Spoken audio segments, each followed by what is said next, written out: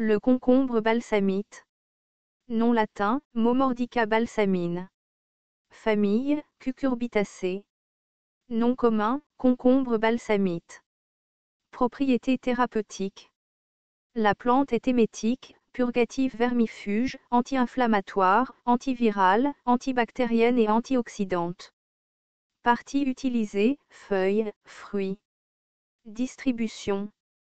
Afrique du Sud, Afrique tropicale, Asie tropicale, Arabie, Inde, Philippines, Australie. Il est présent dans les forêts pendant la saison des pluies, on le trouve également dans les zones perturbées et les bords de route. La plante est cultivée à petite échelle dans presque toutes les régions tropicales. Botanique. Le concombre balsamite est une plante herbacée annuelle, monoïque, rampante ou grimpante à vrille simple. Les tiges atteignent 1,5 m de long et sont anguleuses. Les feuilles sont tall turns, simples, les pétioles mesurent de 0,5 à 6 cm de long, les fleurs mâles sont solitaires, unisexuées, régulières, les pétales font de 1 à 2 cm de long, de couleur jaune pâle, crème ou blanc, avec trois étamines libres.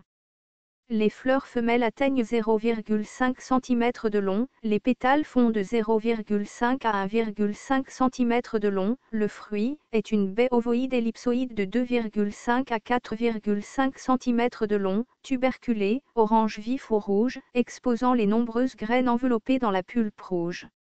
La graine est ovale, comprimée, et fait de 9 à 12 mm de long. Constituant protéines, lipides, glucides, fibres, thiamine, riboflavine, niacine, acide ascorbique. Utilisation culinaire. Les fruits cuits ont une saveur amère. Récoltés à maturité et non mûrs, ils sont cuits et utilisés comme légumes.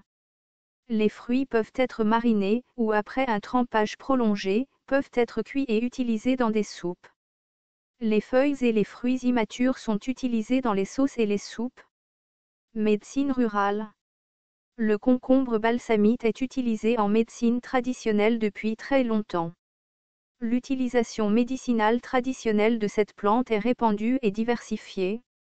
Les utilisations les plus courantes et les plus répandues sont les suivantes.